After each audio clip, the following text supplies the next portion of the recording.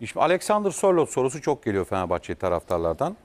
Ee, bu noktada Sörloth'un sarı lacivertli formayı giyme ihtimali var mı yok mu? Ama burada öncelik Trabzonspor, hakkı olan Trabzonspor'un. Ee, ama e, bu konuda hani yönetim de herhangi bir açıklama yapmıyor. Bir santrafor alınacak, belki bir sol bek o da belki bilemiyoruz. En iyi mevkii, en iyi kalabalık mevkii stoperler. Orta saha zaten söylemeye gerek yok. Ee, ama olmazsa olmaz bir santrafor ki isimler Vedat Muriç konuşuluyor. Sörlot'un adı geçiyor net olmamakla birlikte. Bu var oğlu var ama Bir tane Fenerbahçe de ben ekleyeceğim. sen de ekleyeceksin. O zaman senle başlayayım. Şimdi Vedat Muriç Lazio'dan ayrılmayacak. O belli. Ee, niyeti o yönde en azından Vedat Muriç'in son anda bir şey çıkmazsa bir de hazırlık dönemini şu an Vedat Muriç iyi geçirdi Lazio'da. S- onunla ilgili Sarri'nin inisiyatifi bence takımda tutmak yönünde olacak. Vedat'ın da niyeti zaten İtalya'da kalmak. Bunu en azından birkaç öncesinden biliyorum.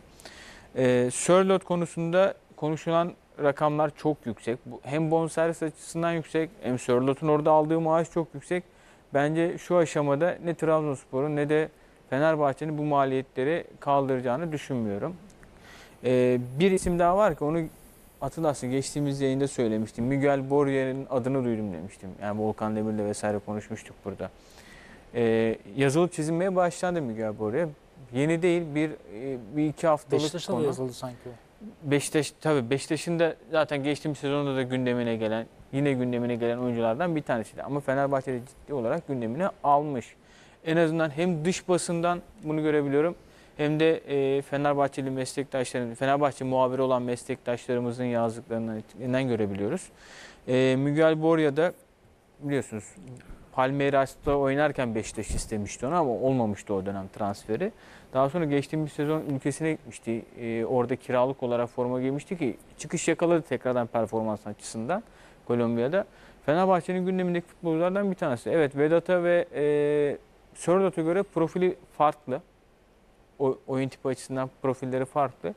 Ee, ama orada bence Mesut, e, Pelkas hani böyle arkada pasör futbolcularla birlikte oynayabilecek bir oyuncu profili var Miguel Borja'nın. Yani maliyet açısından baktığımız zaman şu üç isim arasında en uygun maliyetli de o. Fenerbahçe'nin ben çok yükseklerden uçup da Sörloth transferi yapabileceğini düşünmüyorum. Ee, orada aldığı rakamlarda yanlış bilmiyorsam 4 milyon euro seviyesinde net maaşı var yani Sörloth'un. Bunu şu an karşılayabilecek bir kulüp var mı derseniz yok.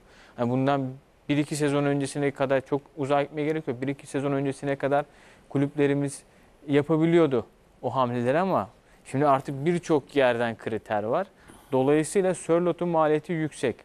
Ben, Ben- Sörloth gelmeyi ben kabul Türkiye- ederse Fenerbahçe onu parasını verir yani.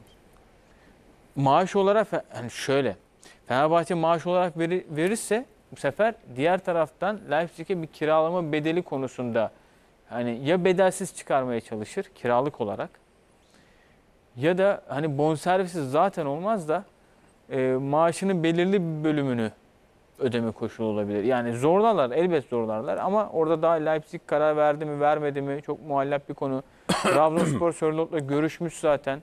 Henüz kulübünün kendisiyle ilgili bir kararı olmadığını Gal- iletmiş. Galiba Andre Silva'yı aldı şey Leipzig. Evet. Bırakacaklar Andre gibi Silva'yı aldı. Yani orada e, şu an 3. santrofor gibi Ya duruyor. Bundesliga'da da bu arada Sörloth o paraları verecek. Yani Bayern var, Dortmund zaten Haaland'ı var. Ee, yani 3-4 tane kulüp var. Diğerleri Bu vermezler. arada in- yani yeni gördüm e, Roma ile adı geçiyor. Hmm. Mourinho'nun listesinde olduğuna yönelik. Yani orada daha önce Patrick Schick vardı hatırlarsınız.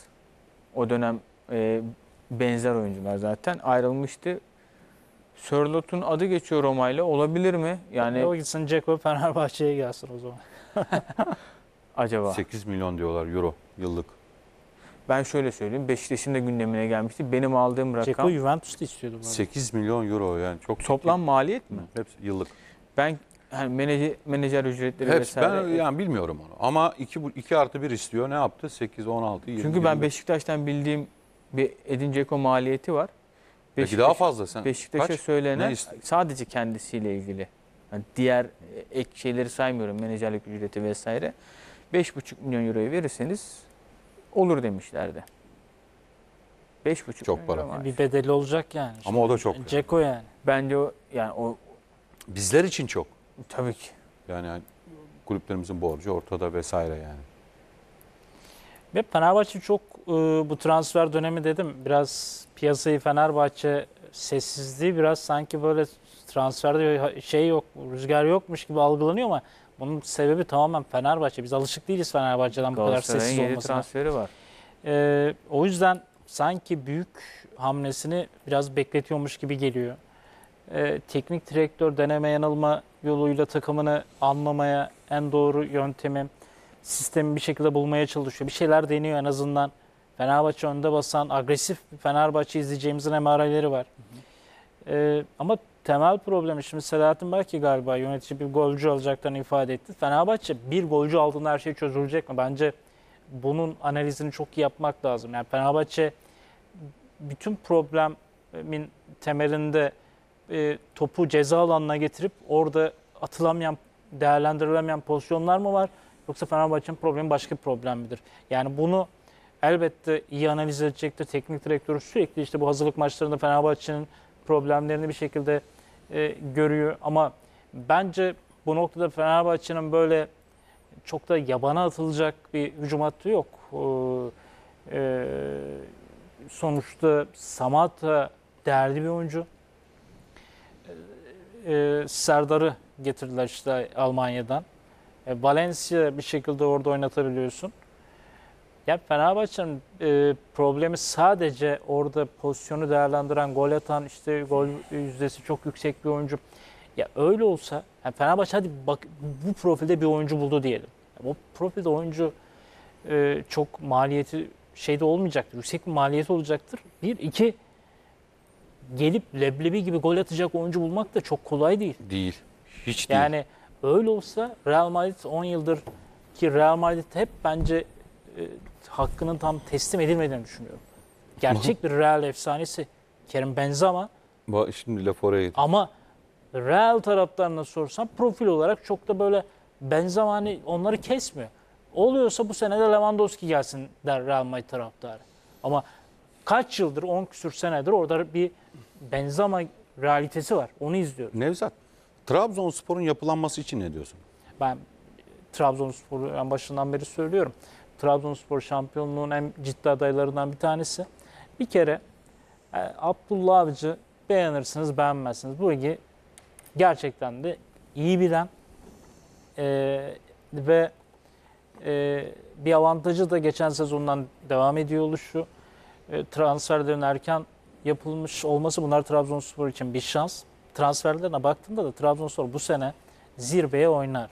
Yani Abdullah Avcı faktörü vardır. Bak Beşiktaş'ta olmamıştır ama bu Abdullah Avcı'nın başarısız bir teknik direktör olduğu anlamına gelmez. Geçen sezon o sıkıntılı kadroyla başardıkları aldığı puanlar da ortada.